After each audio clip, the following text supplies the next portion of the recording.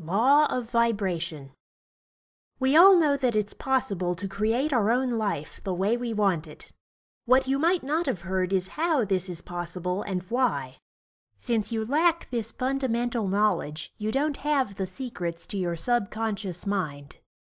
As you gain understanding, you'll soon realize that a living magnet is a part of you. The way you use your feelings and mind is how your life is right now. There's constant vibration or motion, and everything around us is made up of energy. We operate at a set frequency, so our bodies, objects, and everything are this way, even at the molecular level. We can achieve emotional resonance when we tune these electronic vibrations from within. If you look at the stations of a radio, this is much like the frequencies in our bodies. There are different channels. When we have conflicts with our frequencies, there's confusion and static, like trying to find the channel that we have lost on our radio. Your vibration frequency is determined by what you think. One of the most important spiritual principles is the law of vibration, according to many people.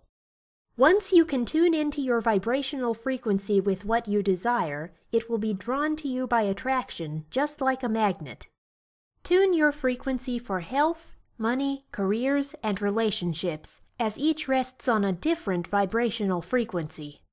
You can use tools to develop your art of concentration, so on a continuing basis you can emotionalize and design new beliefs.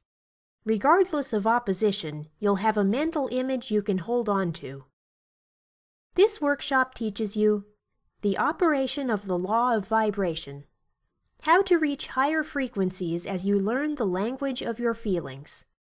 How to attract things you want and repel what you don't want.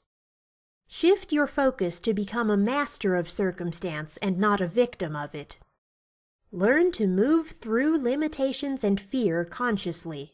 You can find what you need inside your imagination. How to change blueprints, mental images, and the attitude of your mind within. This will reflect outwards in your new reality. Learn how to harmonize your emotions and energy as well as the awareness of your feelings. Emotions and energy are more important than your goals. Causation is imaginal. Reprogram and recondition your subconscious mind because you have the power to do so to cleanse yourself within. You can learn how they have done it and how you can too with this workshop. Don't stay frustrated. Learn how to use the resources locked inside of you. Learn to feel, deal, and heal yourself with an infallible power that you have had all your life. Use this power creatively and set a new train in motion to bring new, harmonious experiences to your life.